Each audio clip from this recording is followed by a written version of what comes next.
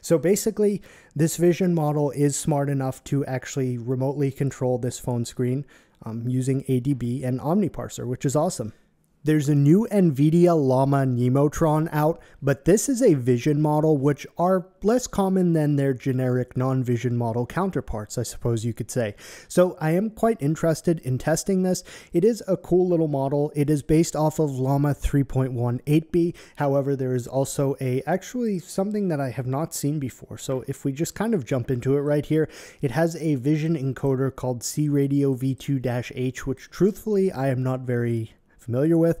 And if you actually Google search it to try to familiarize yourself with it so that you don't look like a moron when you're actually filming the video here, you will find that there's just not a whole lot about this online. So it is kind of unique. It does seem a little interesting. And then, of course, the language model that this is actually just based off of is Llama 3.1 8B Instruct.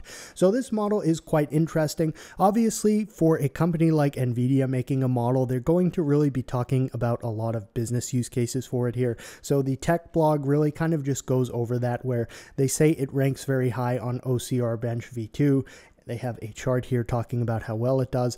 And then if we scroll down, we kind of see some of the examples that they mention this being good at, which are all pretty much business use cases like invoice and receipt processing, customer service, scientific and tech document processing, etc. The cool thing about this is it is on Hugging Face, which we can see right here. From the model card, they do tell you a little bit about it. Now, truthfully, it is not simple to run this model if you are used to just using something like Ollama or LM Studio. So I will quickly touch upon how I got this running on my machine, and we will also talk about actually like the system requirements to run this. Now, something I do want to mention that I find interesting, and I don't know if I will actually be able to test this just due to VRAM constraints, but this actually can supposedly take video as an input as well, which is quite interesting. And I don't see any research paper or anything right here, so I'm not 100% sure how it would actually go about parsing the video, but it is cool to see a model that can actually take video as well, as that is definitely even rarer than just having a standard vision model very cool. They do actually talk about the size of the images that it can take. So it is determined by a 12 tile layout constraint with each tile being 512 by 512 pixels.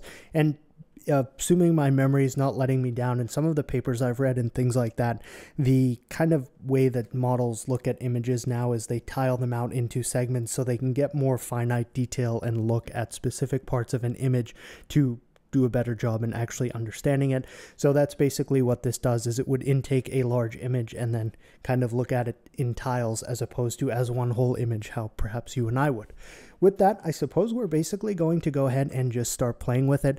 Like I said, I do want to mention how I actually got this running. So truth be told, it's just kind of like a quote unquote vibe coded script that allows this to work in a simple Gradio interface. Beyond that, it's not really too difficult to get the requirements and things like that running. So I will post this on GitHub just under a gist, which you can think of as like a sticky note script to run something. It's not a full repository. And I do actually have it open right here on the web browser running on my localhost and we can see if we look in NVIDIA SMI real quick before we get started. This is running on a 5090 laptop GPU which has 24 gigs of VRAM and it is currently using around 18.41 so it is a heavy model in terms of VRAM requirements. Now, I tried this with IBM, one of their Granite small vision models, and it was a very tiny vision model, so it didn't quite understand it. But I am just going to send it this meme to ask if it understands this meme and if it could explain said meme to me. And we'll just go ahead and we'll get a little bit of kind of a reference of how long this actually takes to go ahead. And right there, just doing this, the generation jumped up to like 22 and a half gigabytes of video RAM. So this meme references the Microsoft Word feature that moves images around when you try to insert them into a document. It humorously compares this feature to Homer Simpson's chaotic attempt to move furniture around in his house.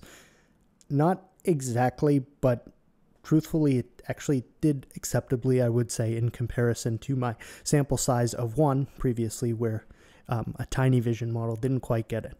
So with that, um, okay, so this is the chart from the actual tech blog article from it right here. Now, instead of just asking it like something boring and business-like where like, can you please tell me what this chart entails? I want to ask it to give a scathing review of this chart and then we'll see what it says.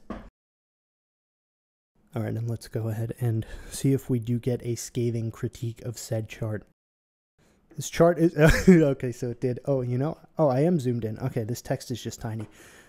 This chart is overly complex and difficult to interpret. Circular layout is visually cluttered and confusing. I would say I'm just I'm not going to read this like fully repeated on camera, but it lacks clear and concise tile or heading that explains its purpose. Text is too small. Overall, the chart is poorly designed and does not effectively communicate its intended message.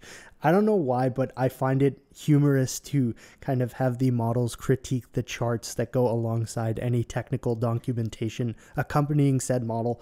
Uh, that's probably a very niche thing to find funny. With that, now this, it is just a photo of, I think it's a number pad for a very old Apple computer, obviously, but I want to ask it to transcribe the text right here because there are actually like some shadows with the way the lighting was in this photo that may actually complicate this. So while this may look like a stupid test first and foremost, I do actually want to see how it does with text that is somewhat similar to the background color accentuated by some shadows and we'll see how that goes. Obviously, the specific time it takes to respond depends on how much text it's generating and things of that sort. Oh no, it did. It totally did. It did a very good job. And the text right here is what I was interested in. I'm going to actually go ahead and just check this FCC ID. Yep, and the serial number. I would assume that to be correct. I think that's a D. I don't know. That's a tough one. All right, that's actually not bad. And again, simple, but I wanted to just see how it did on this text because it was very similar in color to the actual color of the item said text was placed on. With that, all right, so we'll try something serious. I just took this sample bank statement right here from some website. This is obviously not a real bank statement, and I will just ask it to go ahead and do something perhaps business related, such as extract the information from this document. All right, I am probably not going to cross reference all of these. I will just check perhaps a few main things. It did do them in a somewhat organized result, I suppose, where it kind of just put everything on one line as to not clutter with a paragraph result.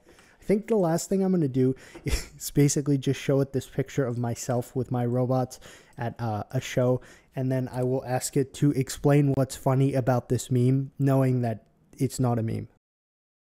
That's interesting. So it totally kind of ignored it didn't answer what's funny about this meme at all because it wasn't a meme and it just properly kind of analyzed the image. I will say it did a pretty good job. It's likely from a convention or event where technology is being showcased for holographic heads. That kind of works. A red sign with the word connect on it and a yellow curtain. Where's. Oh, yeah, that's actually pretty good. So that's up there in the corner.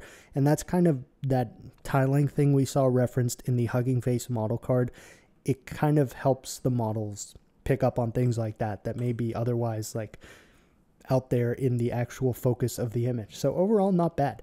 Now, truthfully, because I think testing like this can get kind of mundane and is not necessarily a very good way to check the model's result. I am going to actually go ahead and test this using the Android phone agent I made, which uses Microsoft's OmniParser to take a screenshot, draw bounding boxes on the screen, and then just put ID labels and things like that. And then this model will actually see that screenshot and then produce a result of what it should click on on the phone in order to drive a specific action denoted by the user. That will probably make more sense when we jump into it now. so now for a more, I suppose, intricate test. Essentially what's going on here is this Android phone is hooked up to the PC behind me because this would require more VRAM than I have available on this laptop.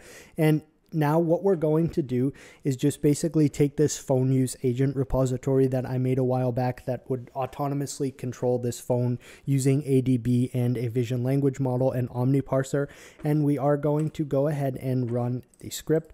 So basically there is going to be a lot of messy terminal output right here which I do apologize for but I'm not touching the phone and we will see now that it did just go ahead and actually open up Chrome. I don't know how well you can see that or if it showed or not. So basically what's going on now is this vision model is actually working to control this phone.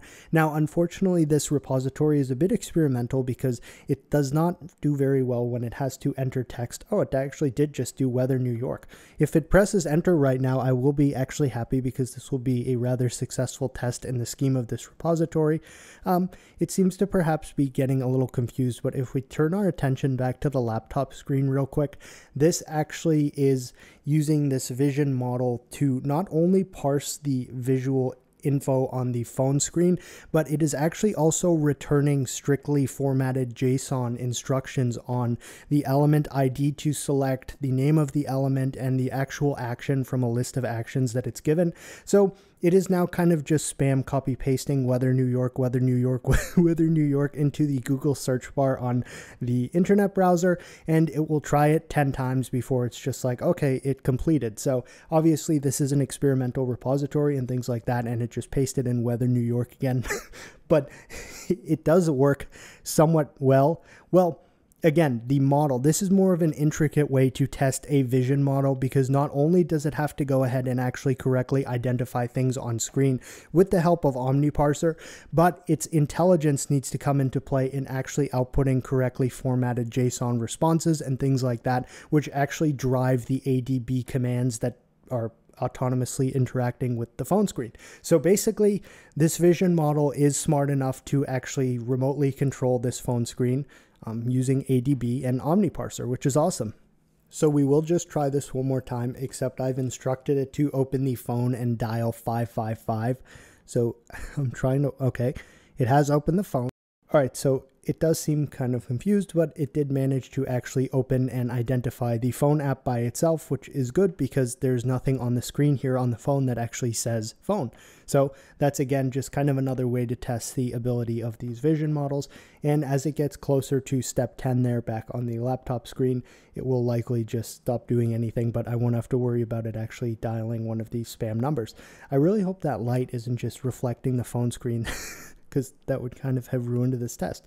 And I will just go ahead and kind of close out of that. Oh, now it swiped up on the screen. Jagex RuneScape layoffs? I hope not. Sorry, that was okay. So it that it swiped up, so it gave me like the stupid suggested news stories, which they try to shove down our throats. Now, with that, that is really going to probably conclude this video. I just wanted to do a testing of this new Nemotron vision model that is good for OCR, but in a way that kind of is more fitting of my style of testing, which is not 100% focused on academic business use cases, but fun use cases as well. So overall, it's cool to have another vision model in the vision model space. And with that, it is going to conclude this video. If you have any questions, please feel free to leave them in the comments and thanks for watching.